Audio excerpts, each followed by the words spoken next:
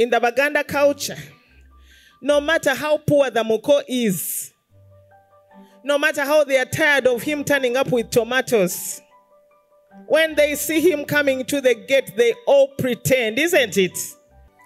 They'll even cut that chicken in the compound because they know that these people need honor, these people need respect. But the moment you walk out, the moment you say goodbye, it's another story, isn't it? The culture is such that anybody who insults a Muko is deemed so foolish. Download the app on App Store or Google Play Store now. Vision Digital Experience, the future of media.